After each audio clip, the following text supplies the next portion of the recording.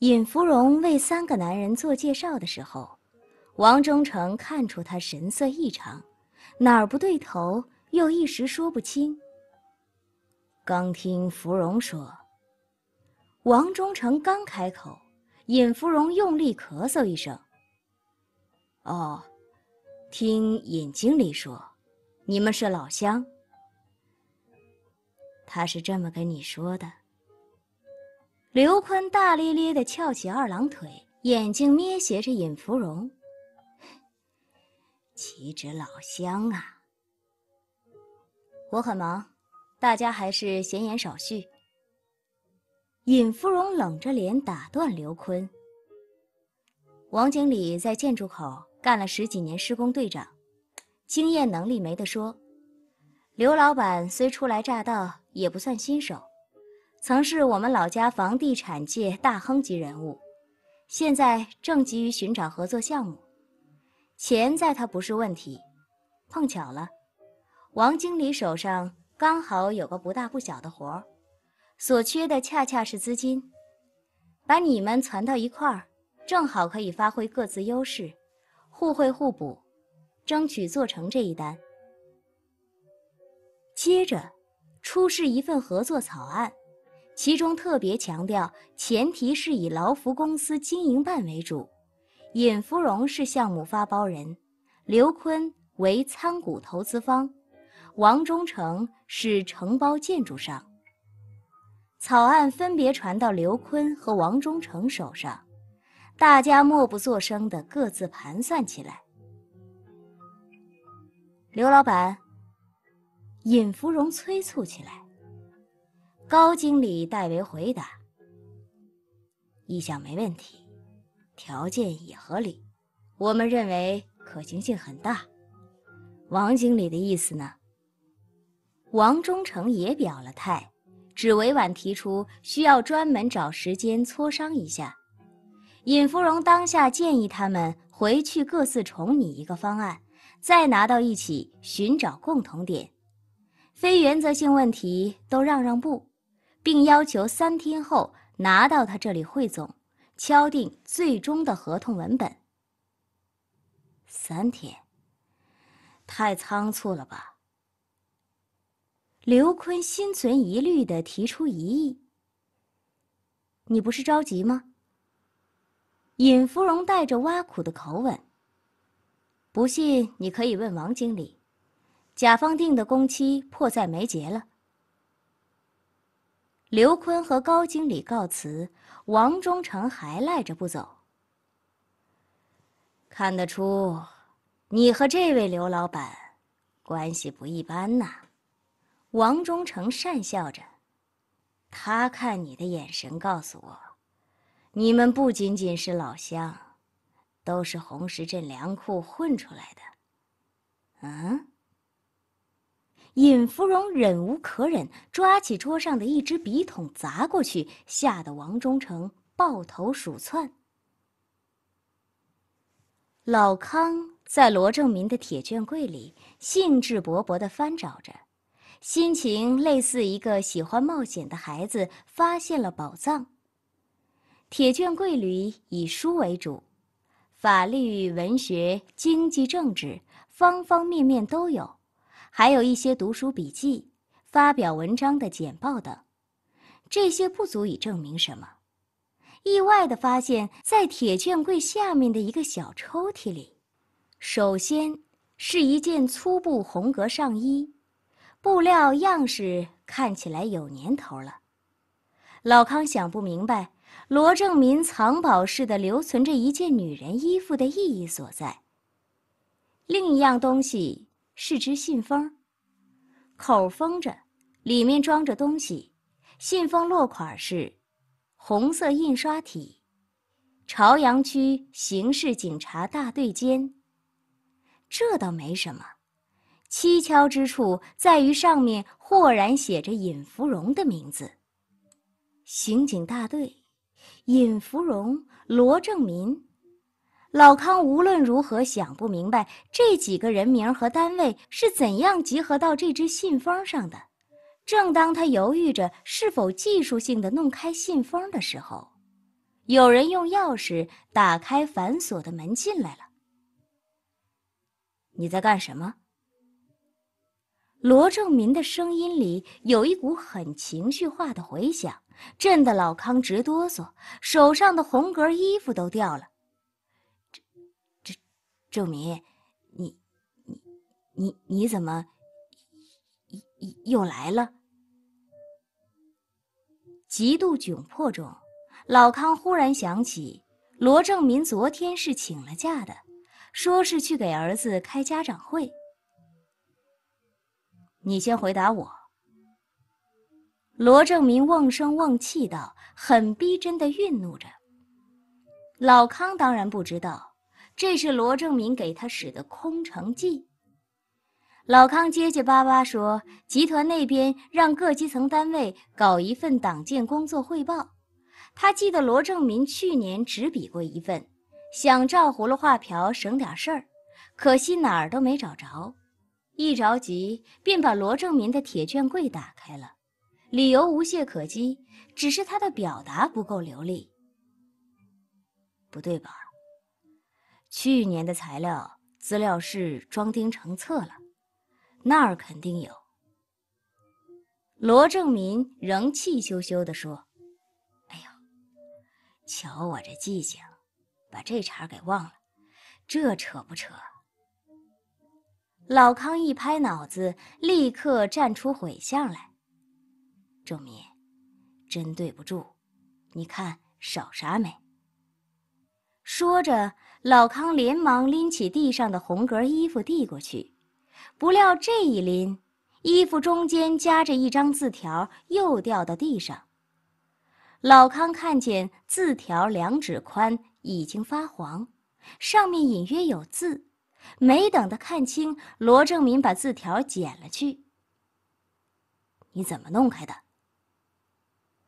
罗正民边收拾边瞟着顶头上司，老康抹着头上的汗，说：“行政科有备用钥匙，以防万一。”天地良心，我往你家打过电话，寻思告诉一声。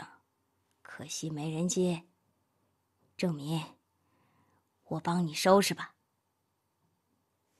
罗正民不理他，故意把书籍重重的放回铁卷柜，弄出声响，全然不顾老康在旁边心惊肉跳。收拾完，罗正民坐下来喝老康亲自沏的茶水，稀溜稀溜的喝着，也不说话，就是看着他。郑民。这这个，你不放回去了？又一顿道歉之后，老康小心翼翼的指着罗正民手上那只印有“刑警队”字样的信封。罗正民见闻，把信封举到老康面前：“你对这个感兴趣？”康主任嘿笑着回答：“他只是有点好奇。”因为上面写有尹芙蓉的名字，想知道里面是什么？借我个胆儿也不敢。你知道？罗正民认真的告诉老康，一旦看见里面的货色，会有人把他眼珠子抠出去。从办公室的窗子上看见罗正民骑自行车走了。老康一溜烟儿跑到经理办公室，在那儿扼要描述了他的发现和被发现，很受委屈的样子。接着，老康发现，那个漂亮的女人在他叙述过程中一言没发，脸色很难看。一星期后，当罗正民在电话里听到尹芙蓉悦耳的声音时，他知道，自己赢了这一回合。罗主任，不忙的话，能过来一下吗？副经理办公室，当然的只有尹芙蓉一个人。先是闲聊一会儿，在方桂荣家，罗正民几度为她救驾，避免了尴尬和儿女间的交往。罗正民虚与委蛇。接着，尹芙蓉以漫不经心的口吻提到那只信封。尹经理说的是这个吗？有备而来的罗正民不假思索地递之过去。尹芙蓉拿起信封摆弄着，突然反问一句：“你知道内容？”“知道。”警方原始笔录。怎么搞到的？尹芙蓉的声音有点发虚。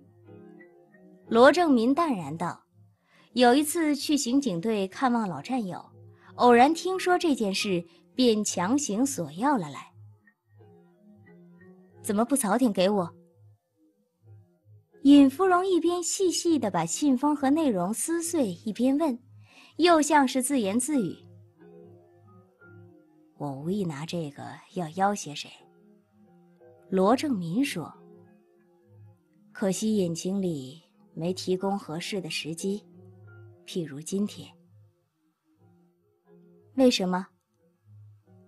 你是我的上级，我有义务维护尹经理的个人和公司形象。我向你保证，这件事儿，我老婆都不知道。谢谢，非常感谢。尹芙蓉湿凉柔软的小手，在握住罗正民的大手时特别用了力。应该的。罗正民知趣的站起来。以后碰上类似事件，我还会这么做。但愿没有以后。罗正明刚走，尹芙蓉一口气没喘匀。王忠诚、刘坤和他如影随形的高经理接踵而入。挺准时啊！尹芙蓉瞥一眼墙上的石英钟，小小的讽刺着：“尹经理是成人之美，我们岂有怠慢之理？”高经理率先呈上昆仑公司的合作方案，未尽事宜可以协商解决。看过王忠诚的，口径与刘坤基本一致。尹芙蓉料想他们私下沟通过。尹经理，我们刘总的意思，可以签约了。尹芙蓉作为发包人，首先在合同上签字，依次是王忠诚，轮到刘坤，他却迟迟不肯下笔，连王忠诚都觉得奇怪。刘老板，咱们事先可都说好了，我已经把利益让到最底线，你占的便宜够大了。刘坤笑着，咱们之间算敲死了。我只是不明白，尹经理的利益如何体现。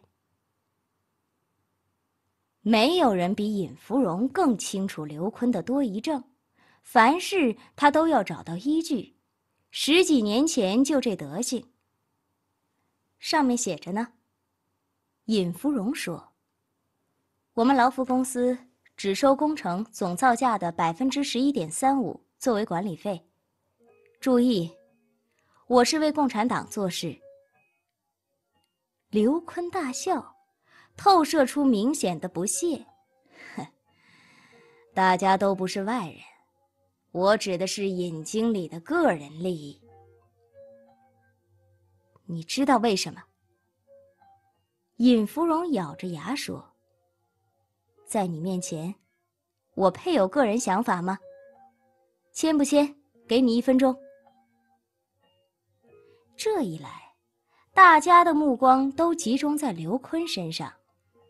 一分钟后，他乖乖写下自己的名字。于是双方都露出笑容，互相放着合作愉快、马到成功一类的闲屁。只有尹芙蓉面无喜色，告诉他们，管理费上打租，他们这里开出发票合同才算正式生效。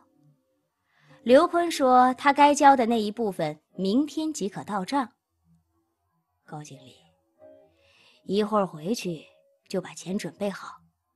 明天拿到收据，我在香格里拉摆一桌，希望各位赏光。尹芙蓉立刻回绝：“谢了，我没空。要是我带去你想要的东西呢？”刘坤凑到尹芙蓉耳边说：“在约定时间来到香格里拉。”尹芙蓉看到包房里巨大的餐桌上已经摆好十几道美味佳肴，人却只有刘坤一个。看尹芙蓉滞在门口，刘坤招呼他过来坐。别人呢？高经理陪王忠诚开房按摩去了。对他来说，干那个比吃吃喝喝更有吸引力。就你和我。尹芙蓉忐忑地坐在刘坤对面，这样说话方便。不管怎么说，咱们是老相识啊。